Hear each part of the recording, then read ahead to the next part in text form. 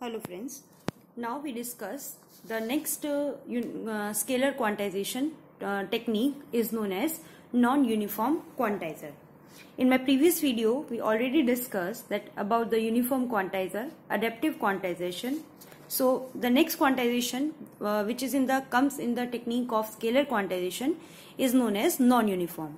As the name suggests, here a quantizer, a quantizer that have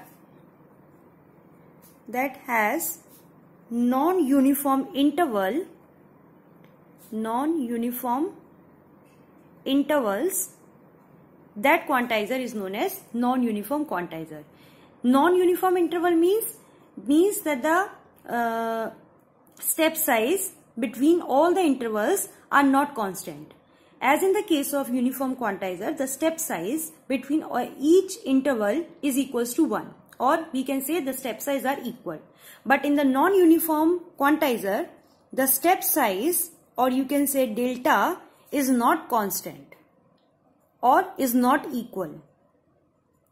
Is not equal.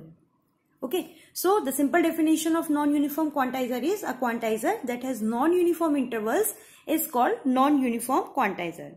Now, if we talk in detail about the non-uniform quantizer, as in the case of lossless compression, uh, we know that to minimize the average number of bits per symbol, the symbol having a high probability would assign a shorter code word and the symbol having low probability would assign longer code word.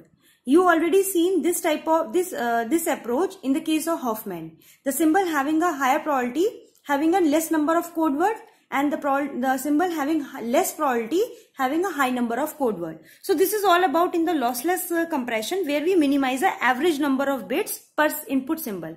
But now in the case of lossy compression in the same in the same manner in order to the second point for in order to decrease the average in distortion in order to decrease the average distortion we can distortion we can try to approximate we can try to approximate the input better in the region better in that region that having high probability sorry. That having high probability okay. So in the case same case and as we already discussed in the what is the case in the lossless uh, so in the lossy so in order to uh, there we uh, we decrease the or minimize the average number of bit per symbol and in the lossy we decrease the average distortion. So for that purpose, we approximate the input better in that region, in that region where we having high probability. And perhaps the cost of worst approximation in region where having lower probability. Means if the input is having lower probability, then we approximate uh, cost of worst approximation then we do the cost of worst approximation for the symbol having a low probability. Okay, so we can do this by making the quantization level in uh, quantization interval smaller in those region that having more probability mass. So the next point is then that we make smaller interval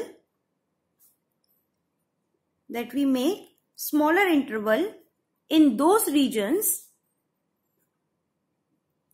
that have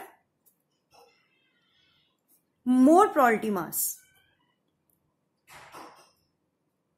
that have more probability mass. See uh, we discussed this point with the help of an example. Okay so this is the non-uniform mid-rise quantizer. Okay in which see here the interval near the origin having a smaller interval means the step size is smaller. And as we move ahead or as we move away from the origin, the step size between the interval become increases. Similarly for the output, the interval near the origin, the step size uh, the near the origin is small and as we move away from the origin, the interval size become larger. So if it is a mid-rise, if it is a mid-rise quantizer, then in already, uh, as we already know that in mid-rise quantizer, the output, uh, it do not include the zero value. So it starts from like this. Like this. In the similar manner,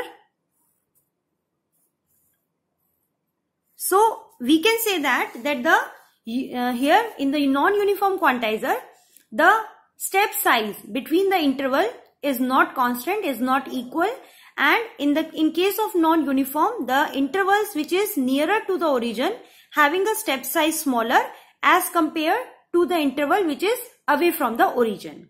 Okay, so this is about non-uniform mid-rise quantizer and for, for designing the non-uniform quantizer in more detail, you can uh, you can take uh, or you can say you can approach two uh, two uh, headings. One is pdf optimized quantization. Okay. So this is one of the this, uh, this is one of the approach which we design the non-uniform quantizer. And the second approach is first is this and second is companded quantization so these are the two approaches which are used for the designing of the non-uniform quantizer. In this companded uh, or in this, in the PDF optimized quantizer, we use Lloyd-Max algorithm. Okay and in which we implement this non-uniform quantizer. I hope you understand the non-uniform, the basic concept of non-uniform quantizer and if you have any query then you can ask in our comment section and if you like our video then please subscribe our channel and share it. And uh, there is one more option for asking a question then you can send your query to our business email ID that is itechnicalearning at the gmail.com. So keep watching our video. Thank you so much.